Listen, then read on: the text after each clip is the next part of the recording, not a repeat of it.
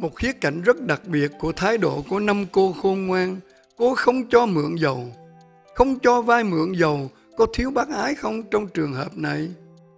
Thưa không. Bởi vì nhân đức mình không thể vay mượn được. Mình phải tự làm. Mình phải tự sống, tự luyện tập, tự thực hành. Nhân đức không thể dựa vào cha mẹ. Cha mẹ rất đạo đức, con cũng chưa chắc hưởng được cái gì. Có thể hưởng được là cái gương. Chúa ở cùng anh chị em. Bài trích tin mừng của Chúa Giêsu Kitô theo Thánh Matthew. Lạy Chúa, vinh danh Chúa. Khi ấy, Chúa Giêsu phán cùng các môn đệ dụ ngôn sau đây. Nước trời giống như mười trinh nữ cầm đèn để đi đón chàng rể. Trong số đó có năm cô khờ dại và năm cô khôn ngoan. Năm cô khờ dại mang đèn mà không đem dầu theo, còn những cô khôn ngoan đã mang đèn lại đem dầu đầy bình. Vì chàng rể đến chậm, nên tất cả các cô đều thiếp đi và ngủ cả. Nửa đêm có tiếng hô to, kìa chàng rể đến, hãy ra đón người. Bây giờ các trinh nữ đều trỗi dậy sửa soạn đèn của mình. Nhưng cô khờ dại nói với mấy cô khôn ngoan rằng, các chị cho chúng em vay chút dầu, vì đèn của chúng em đã tắt cả rồi. Các cô khôn ngoan trả lời, e không đủ cho chúng em và các chị đâu. Các chị hãy ra hàng mà mua thì hơn. Xong, trong khi họ đang đi mua thì chàng rể đến. Những trinh nữ đã sẵn sàng thì theo chàng rể cùng vào tiệc cưới và cửa đóng lại. Sau cùng, các trinh nữ kia cũng đến và nói, Thưa Ngài, xin mở cửa cho chúng tôi. Nhưng người đáp lại, tôi bảo thật các người, tôi không biết các người. Vậy, hãy tỉnh thức, vì các người không biết ngày nào, giờ nào. Đó là lời Chúa, lời Chúa.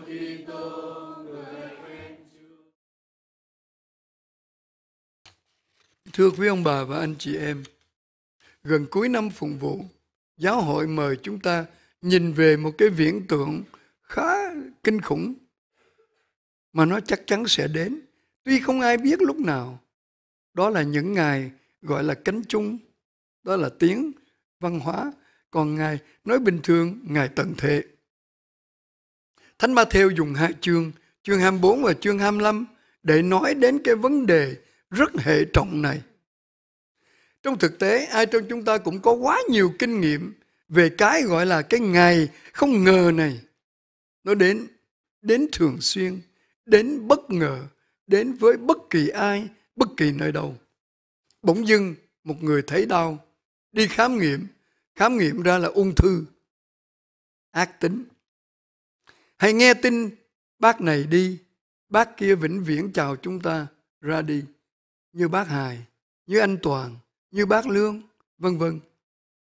Đột ngột, ngỡ ngàng, nghe tin hai cô trong ca đoàn chết chìm mấy năm trước. Trong đó có cô Nga, vợ anh Toàn, mới chết. Sự tỉnh thức giúp chúng ta tránh đi những hối tiếc sau cái chết. Chỉ có vậy thôi. Đó là sự tỉnh thức. Nhưng bài tin mừng hôm nay đâu có nói về tỉnh thức nhiều. Bởi vì mấy cô ngủ hết mà. Đâu ai tỉnh thức đâu. Nhưng ai là người biết lo xa? Đó mới gọi là người khôn ngoan. Linh Mục Trọng Tước sưu tầm một câu chuyện khá hay quý ông bà. Có con chuột, mình tiếng Việt mình có cái câu chuột sa hủ, hủ nếp, nó ngon hơn hủ gạo nữa, nó bùi hơn.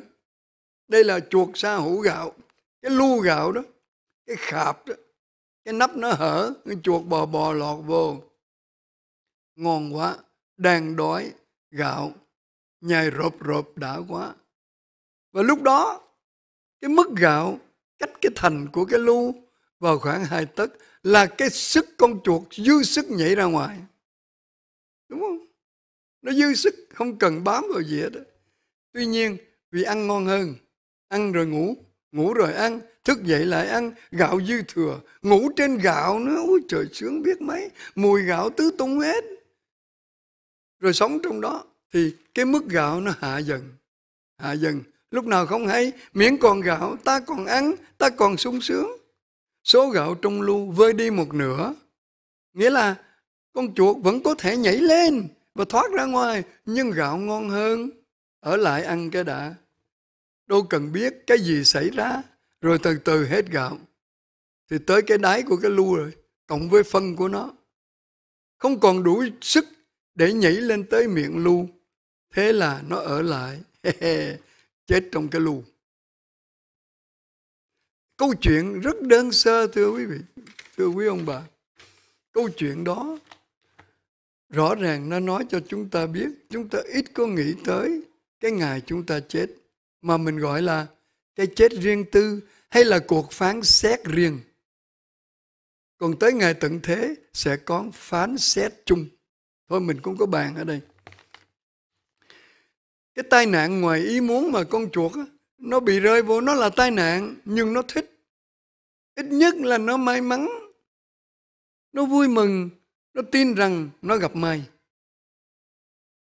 Nhưng cuối cùng sau khi hết gạo, chuột mới quảng hồn nhận ra rằng bây giờ không thể nhảy lên miệng của cái lu được nữa. Những cái chết bao giờ cũng kết thúc bằng mình quay mặt trước lời thỉnh cầu muốn sống. Người ta mời mình sống, nhưng vì mình sống cách nào để rồi mình quên mất, mình sẽ chết. Ở đời cũng vậy. Ai trong chúng ta cũng có thể cho vay và đi vay tiền. Vàng bạc, vật chất. Nhưng không ai vay mượn được sức khỏe. Không ai được dù cha mẹ có thương con cũng không cho con vay được một tấc sức khỏe. Nhất là thời gian. Không thể nào cho vay được. Thời gian rất êm đềm, thưa quý ông bà, rất thầm lặng. Là người bạn thân của mình, từ lúc mình chào đời nó đi sát bên mình. Nhưng nó là một chánh án cực kỳ nghiêm khắc. Mỗi giây qua rồi nó nói xong rồi, mất vĩnh viễn, xong rồi, mất vĩnh viễn. Và nó kết thúc lúc nào? Đâu có ai biết. Chúa Giêsu nói, cha trên trời, một mình mới biết. Không ai cho vay mượn được thời gian. Thời gian tàn bạo thật. Không ai níu kéo nó lại được, dù đó là tỷ phú George Soros. Chuyến tàu định mệnh cuộc đời không bao giờ trở lại lần thứ hai. Và bên kia cái bến mà chiếc tàu chạy đến đó là cái gì? Phiền muộn, hối tiếc hay vui mừng, hạnh phúc, tùy mình. Tùy cái cách mình foresight là trông xa, nhìn rộng. Như mấy cái cô trong dụ ngôn của Chúa Giêsu chiều nay mình nghe. Thưa, chuẩn bị khôn ngoan. Cha trước kể một câu chuyện có ông bố dẫn con đi sở thú. Thằng con trai đó, nó 6 tuổi. Anh ông tới cái quầy vé, ông thấy người lớn 10 đồng, trẻ em trên 5 tuổi thì 5 đồng, dưới 5 tuổi thì miễn phí. Để rất rõ. Đọc xong, ông nói với người bán vé, cho tôi một vé người lớn và một vé trẻ em trên 5 tuổi. Over 5. Người bán vé rất tử tế nhìn, ủa con ông trên 5 tuổi à tôi trông thấy nó bé quá mà. Vân vân. Nếu ông không nói, con tôi nó, nó trên 5 tuổi đó. Người bán vé nó ông mà không nói tôi tưởng nó 4 tuổi rưỡi hay là 4 tuổi. Không ai biết đâu. Thì là thằng bé được miễn phí. Sao ông không làm vậy? Ông nói đúng rồi. Có thể không ai biết. Nhưng ít nhất tôi biết và nó biết. Vậy người cha đó dạy hay không? Ông có thể dạy khi cho nó thấy rằng là ông lời được 5 đô. Nhưng ông dạy ở chỗ là nó tưởng ông khôn. Ông cũng tưởng rằng mình hành động như vậy là khốn, nhưng để lại cho đứa con một lương tâm dối trá. Vậy cái nào quan trọng hơn? Thưa quý ông bà, cách hành xử mà mình cho là khôn ngoan ở đời, có khi là dại dột trước lương tâm, trước linh hồn. Lựa chọn đúng không có nghĩa là không có gian nan đâu, luôn luôn có gian nan. Lựa chọn đúng đẩy ta về phía bên kia cánh cửa của lầm lẫn, để cho chúng ta nhận ra cái nào đúng, cái nào sai. Rồi bây giờ nói một chút thôi về dầu. Cái tiêu đề trong bài tin mừng này là đi vai dầu, là vì không nhìn xa. Có đèn mà không mang dầu. Đèn là để thắp, mà muốn thắp thì phải có dầu. Như vậy không nhìn xa. Đem cái đèn đi thôi, giống như để trang điểm đem đèn mà không mang dầu, chỉ là cái đèn là đồ trang trí thôi. Tất cả mất hết mục đích. Chúng thành dư thừa. Cái bi đát là khi lấy đồ vật để trang trí mà chúng ta, mà chúng không phải là thứ để trang trí, thì đó là dấu hiệu mình không bình thường. Một khía cạnh rất đặc biệt của thái độ của năm cô khôn ngoan, cô không cho mượn dầu, không cho vai mượn dầu có thiếu bác ái không trong trường hợp này? Thưa không. Bởi vì đối với tôi, nhân đức mình không thể vay mượn được. Mình phải tự làm. Mình phải tự sống, tự luyện tập, tự thực hành. Nhân đức không thể dựa vào cha mẹ. Cha mẹ rất đạo đức, con cũng chưa chắc hưởng được cái gì. Có thể hưởng được là cái gương. Chứ cha mẹ không lấy nhân đức của mình đưa cho con cái ông hồi nãy mua vé cho đứa bé, con trai mình, ông á, cho nó nhân đức đó. Chứ ông không cần 5 đô la. Còn năm cô khờ dại không mang dầu theo rồi đi mượn. Đâu mượn được. Dầu là tha thiết của tấm lòng. Dầu là đạo đức bên trong. Ai cho mượn được? Không ai mượn được nỗi tha thiết của người khác. Sự khát khao nước trời của người khác, mình không lấy được không cướp được, không mượn được. Không thể thuê người khác để người đó sống đạo đức thế cho mình. Chuyện đó nghe tức cười đó. bây giờ tôi giàu rồi, tôi thuê tôi thuê chị Hồng, tôi thấy chị đạo đức. Tôi đưa cho chị một tháng 10 ngàn. Chị đạo đức dùm tôi nhé. Bà cười, bà nói đồ ngu, đưa 10 ngàn đây tao xài. Còn đạo đức của ai người nấy hưởng. Có phải không? Không dám nói. Chỉ gật đầu thôi thưa quý ông bà và anh chị em,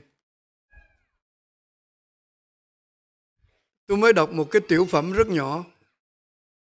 Nói về ông ngô đình nhu, tôi kết luận. Con gái ổng là ngô đình lễ, lệ thủy.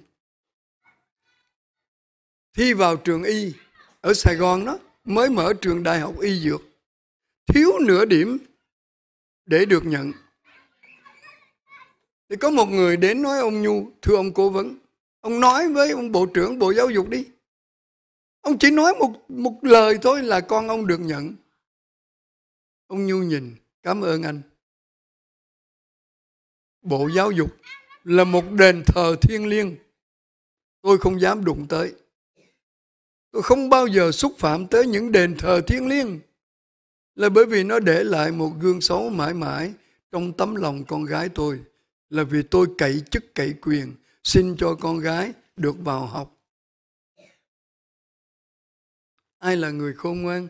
Theo như bình thường thì nói ông bố đó ngu, có chức có quyền mà không chịu để cho con mình vào học y khoa. Nói tiếng thôi, đâu cần hối lộ đâu, cũng sống. Không, ông cho con cái ông cái khác, quý hơn. Cho nên hôm nay xin mời quý vị, lâu lâu trước khi ngủ đó trước khi ngủ mỗi đêm đó, lâu lâu rồi tôi không có tôi không có xin mỗi đêm đó trước khi ngủ cứ tưởng tượng, đêm nay ngủ sáng mai không dậy. Tưởng tượng đi rồi sẽ thấy rợn người á. Tôi nói thật. Trời mùa nóng tháng giêng, tôi ngủ ngoài chỗ để cho cốt đây là chuyện nào giờ tôi chưa kể nha. Một đêm tôi nghe lụp cục tại cái hàng rào ở bức tường đó dễ leo vào tôi nằm ở dưới, tôi nhìn lên thấy hai ông đen thui, đang ngồi ở trên, đang nói với nhau, lửa đồ để đi cãi tôi ngửi thấy mùi là mấy người vô gia cư rồi. Cái mùi nó hôi lắm lận cái rồi tôi ngồi dậy cái thôi. Hai ông thấy chỗ đó là tro cốt và có người ngồi dậy.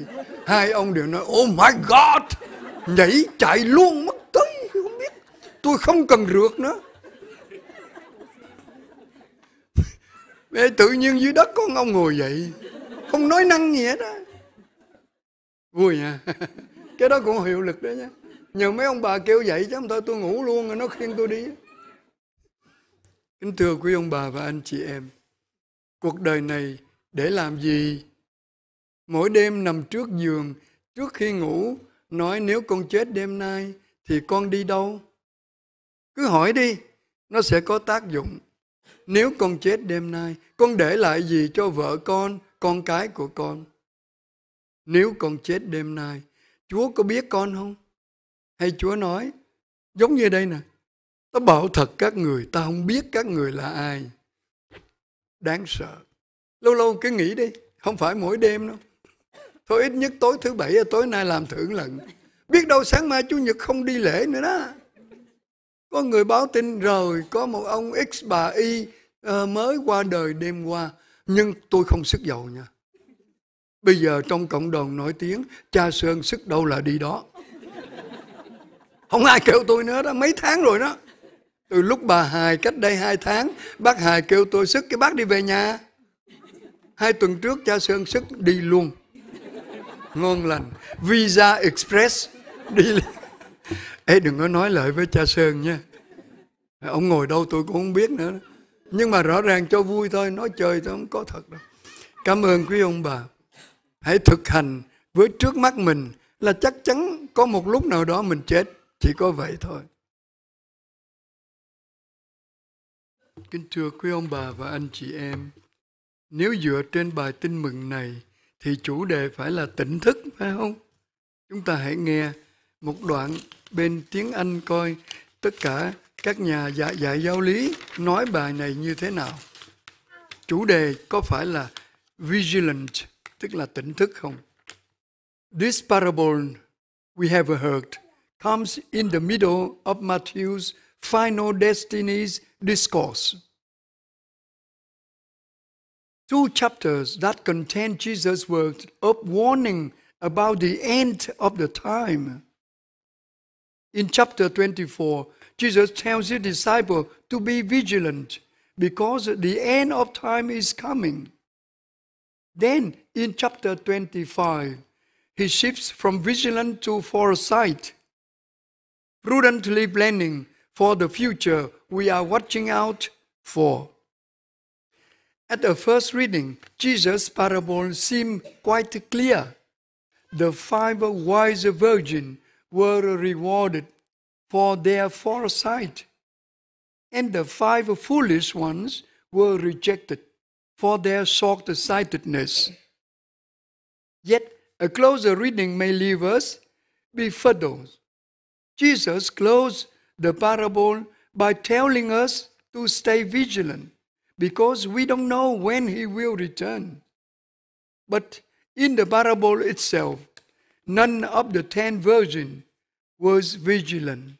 You have heard. They all fell asleep. If this parable is about vigilance, then it doesn't send a very good message for me and for you. Jesus knows that we cannot always be praying and actively seeking Him. There are times when work or other important tasks take all of our focus. We also have times when we need to rest our minds and refresh ourselves through recreation as well. We simply cannot stay awake all the time. Yes, it seems to be impossible. This is where the difference between the two sets of versions comes in. Combining vigilance and foresight. The wise version brought along extra oil to sustain them when they were asleep. They look ahead and stock up so that they could maintain their vigil no matter what the situation happened. In a similar way, Jesus wants to make sure that we are getting filled up with His grace every day through prayer, through the Eucharist, through the sacraments, and through scriptures. He wants us to have plenty of His oil, I mean His love and His grace, to take into our days, so that we are always ready for Him, whether we are awake or we are asleep. By combining foresight with the vigilance, we can be certain that we will not be caught off guard when Jesus returns. Lòng anh mắt thắm sâu, Chúa ngắm nhìn con dấu yêu Từ trong ánh mắt mến thương, Chúa nhìn con bao dịu hiền Nhiều lúc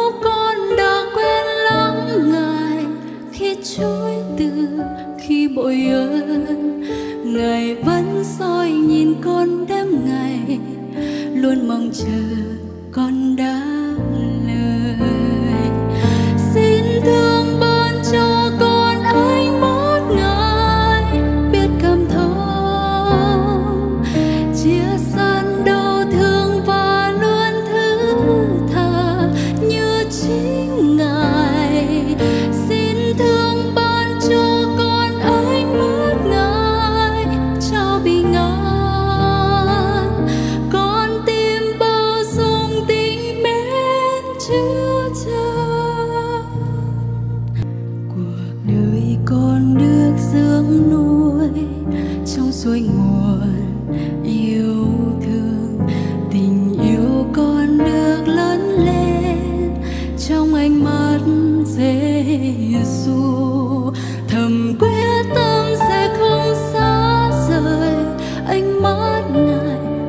Jesús.